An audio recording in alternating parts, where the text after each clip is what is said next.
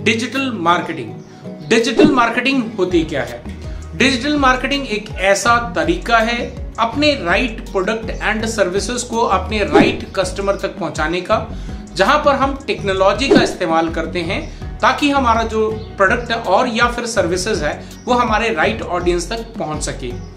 Digital marketing के अंदर कई सारे अलग अलग डोमेन्स हम इस्तेमाल करते हैं, जैसे कि graphic designing search engine marketing search engine optimisation, social media marketing, या फिर आप कह सकते हैं कि हम एफिलेट मार्केटिंग। इस तरह के कई सारे डोमेन्स का इस्तेमाल करके जब हम अपने प्रोडक्ट या फिर सर्विस को अपने टारगेट ऑडियंस तक पहुंचाते हैं, इसी माध्यम को डिजिटल मार्केटिंग कहा जाता है।